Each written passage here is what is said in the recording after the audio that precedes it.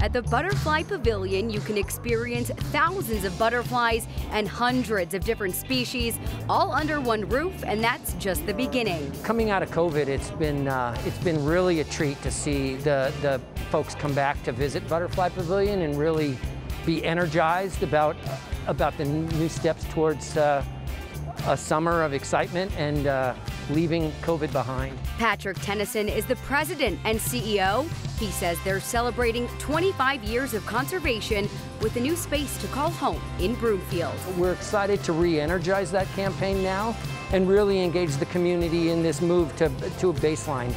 81,000 square foot new, exciting, state-of-the-art zoological facility that will shape the future of conservation and, and, education. Education on the bugs you see in your own backyard. And we specialize and focus on invertebrates so you can learn about their life cycles, their life history, what they do, how they benefit humans, and bees have a huge benefit to humans.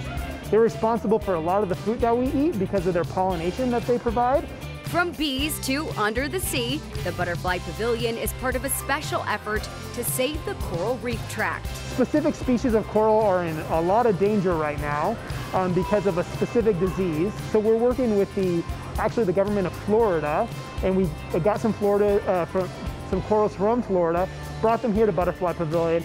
We have them on exhibit now, and we're caring for them so they can grow nice and big and strong so one day they could re be replanted into the oceans along Florida. And your kids can see those corals firsthand this summer. We will be able to do straight away on June 1st, um, have our in-person summer camps. They're led uh, by our fabulous team of environmental educators. And so they're for kiddos ages 5 through 12. Um, you know,